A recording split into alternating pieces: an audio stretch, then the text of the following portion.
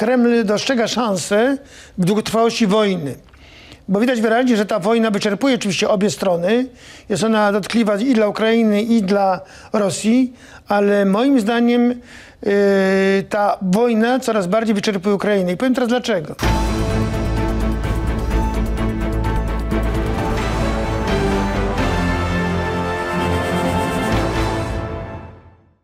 Panowie, ja zacytuję premiera Węgier Viktora Orbana, który wczoraj w jednym z wywiadów mówił tak, cytuję, nie możemy sobie pozwolić na przekształcenie długiej granicy między Rosją a Ukrainą w granicę NATO. Oznaczałoby to natychmiastową wojnę, niebezpieczeństwo dla nas wszystkich, nawet dla Waszyngtonu, stwierdził Orban i dodał tak, osobiście uważam, że bez włączenia Rosjan do europejskiej architektury bezpieczeństwa nie możemy zapewnić bezpieczeństwa obywatelom Europy.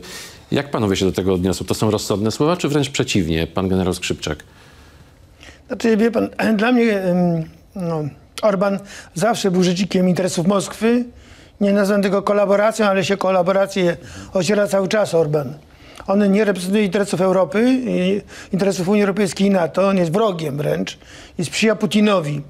Yy, nieprawdą jest i nie zgadzam się z tym, co mówi Orban, że Ukraina nie może być członkiem NATO. Uważam, że w sytuacji, gdyby doszło do zawieszenia broni, gdyby wstrzymane były działania zbrojne, nic nie stoi na przeszkodzie, żeby takie działania zostały podjęte i straszenie nas y, bombami jądrowymi czy czymkolwiek w zasadzie w tej chwili już chyba już nikogo nie wystraszą, bo się y, myśmy z tym y, oswoili, z tym straszeniem. Tym bardziej, że nie wiem do czego się odwołuje Orban, ale jeżeli on się odwołuje nadal do wielkiej Rosji, to tak bardzo jest odklejony Orban Właśnie od rzeczywistości. Tak to wygląda trochę, bo wciąganie Rosji w architekturę bezpieczeństwa starano się od jakiegoś czasu robić, prawda? Dokładnie.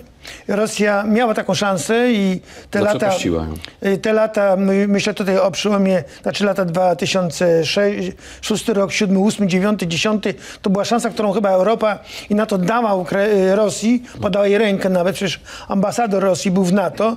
Rosjanie w tym czasie oszukiwali wszystkich swoją miłością do NATO i do Unii Europejskiej, a w tym czasie zbroili się i szykowali się do kolejnych wojen, czego przykładem był 2014 rok, Ukraina.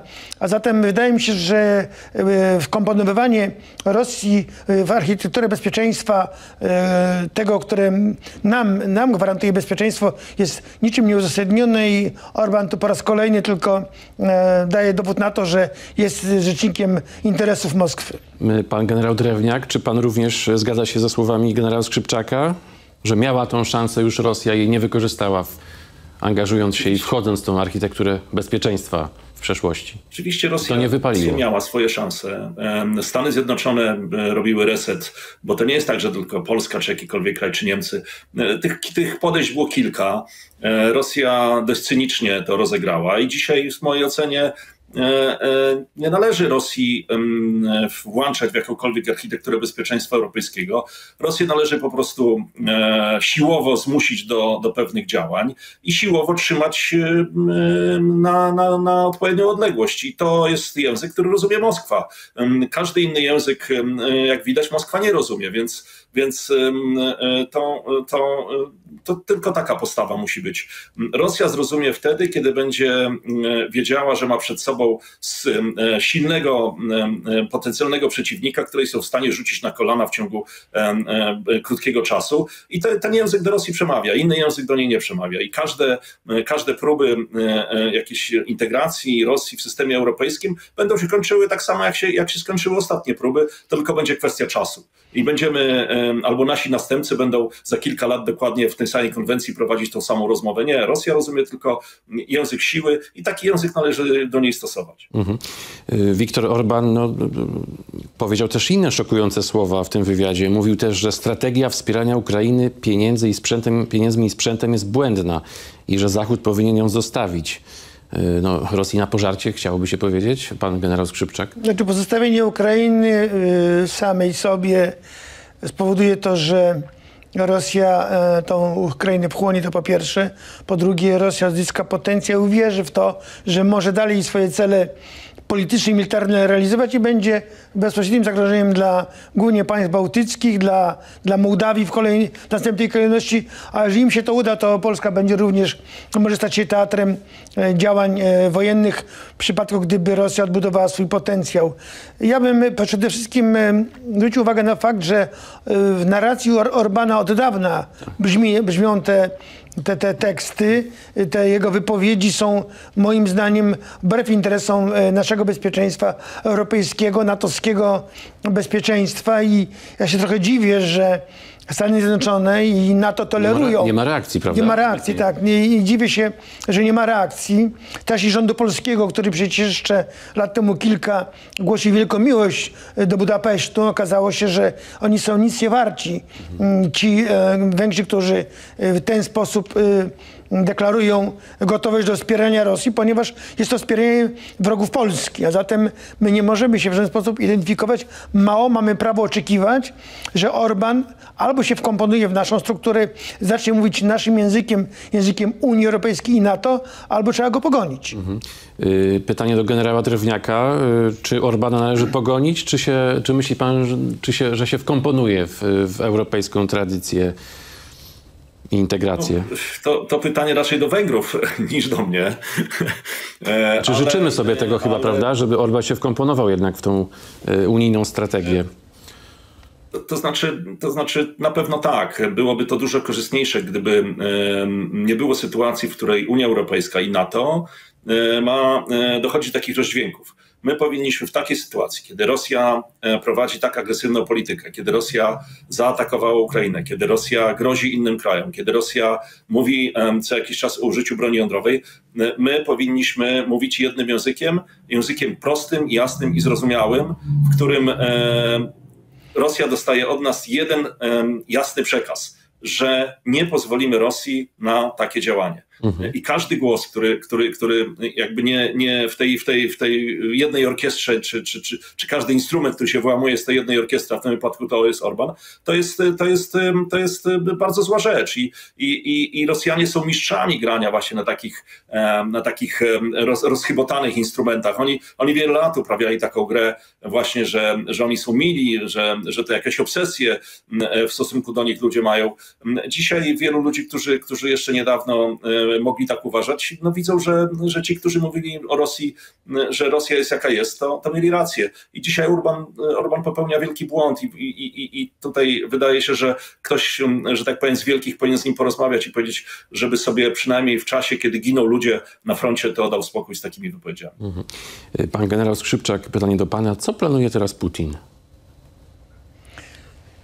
Putin się utwierdził, w przekonaniu, że już w tej chwili nie ma żadnej siły na Kremlu, która mogłaby jemu zagrozić jako pozycji.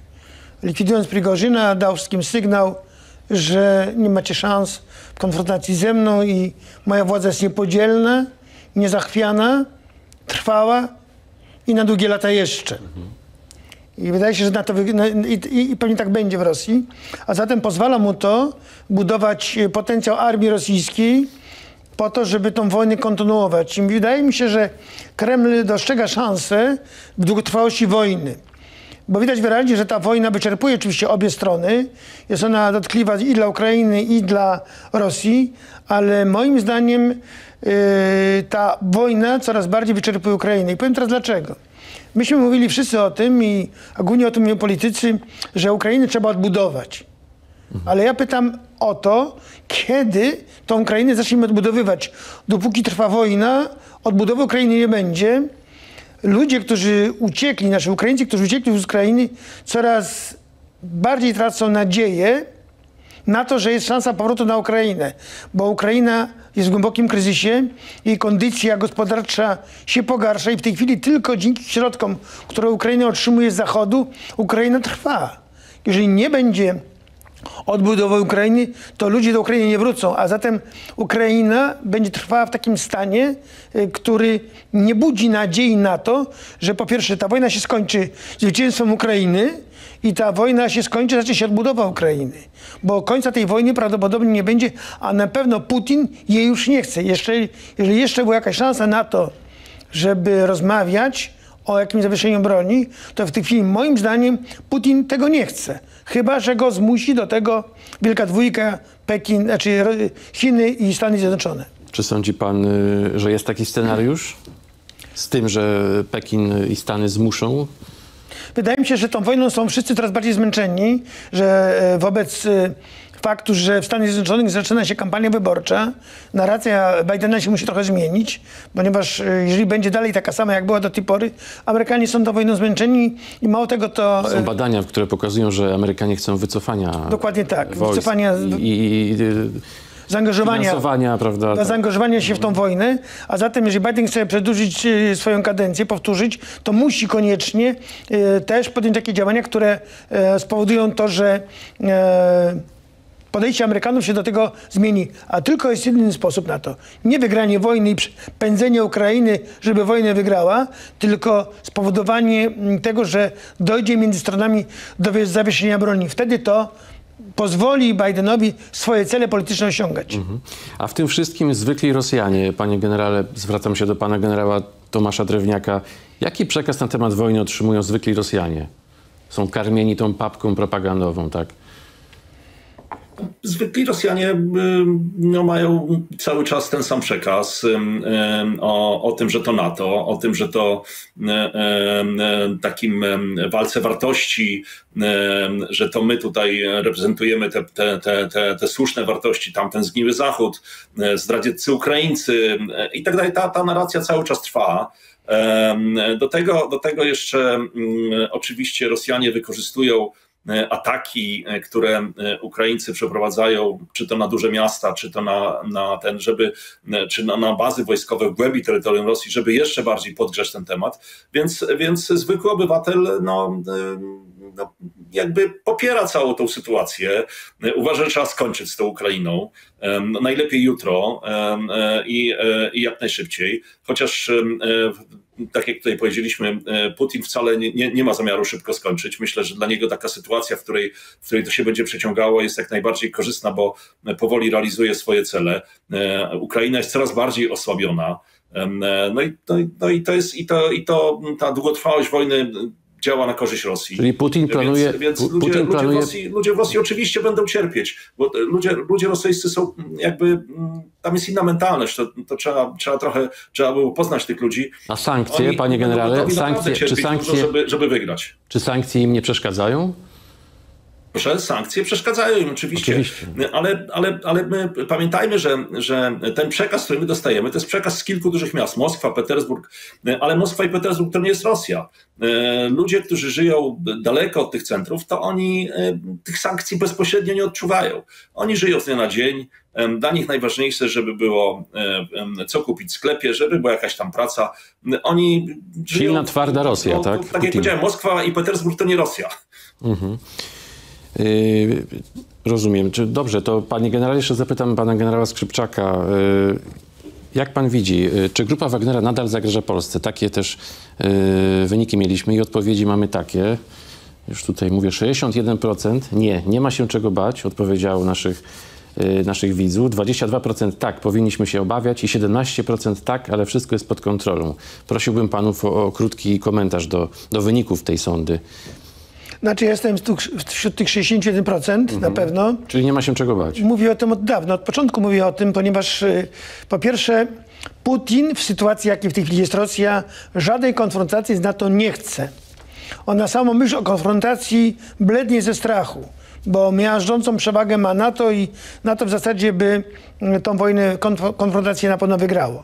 Natomiast to, że prowadzą wojnę hybrydową, no to jest oczywiste i na to powinniśmy być przygotowani, ale to nie ma nic wspólnego z tym, co niektórzy nazywają jakąkolwiek agresją ze strony Wagnerowców, którzy nawet już Wagnerowców widzieli maszerujących na przesmyk suwalski. Nie wolno być pasem transmisyjnym propagandy rosyjskiej i głosić propagandę rosyjską w polskich mediach przez polskich polityków.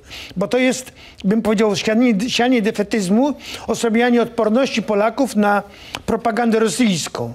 My mamy być odporni na propagandę rosyjską i na dobrą sprawę nie reagować w ogóle na, na tą propagandę. Mało tego, powinniśmy mieć swoją kontrpropagandę, która nie będzie jakby pasem transmisyjnym propagandy rosyjskiej, a będzie ją atakowało, obnażało jej słabości, bo o to chodzi. A w tej chwili u nas takiego czegoś nie ma w tej grze, w tej wojnie informacyjnej i uważam, że my cały czas tą wojnę informacyjną z rosyjską propagandą przegrywamy, a za sprawą tych, którzy są odpowiedzialni za prowadzenie wojny informacyjnej, którzy nie wiedzą, jak ją prowadzić. I pan generał Drewniak, y, proszę o krótki komentarz do wyników sądy. No, również jestem z, za większością. E, Wagnerowcy nigdy nie zagrażali nam ani nie zagrażają, co nie znaczy, że e, Rosja e, poprzez Putin, poprzez Putin, poprzez Łukaszenkę nie będzie robił różnego rodzaju operacji na takich, które mają nas ośmieszyć czy nas dyskredytować, bo, bo to o to chodzi tak naprawdę. Tu nie mówimy o jakimś konflikcie, czy nie wiem, białoruskie czy rosyjskie czołgi wjadą do Polski, bo tak się na pewno nie wydarzy, ale różnego rodzaju sytuacje czy to w przestrzeni wirtualnej, czy to w, w cyber, czy w realnej, będą się działy i musimy być na to przygotowani. I tak naprawdę to my powinniśmy monitorować tę sytuację i to my powinniśmy e, pokazywać ich, ich słabości, a na razie tak się nie dzieje i to jest, i to jest trochę przykre w tej sytuacji.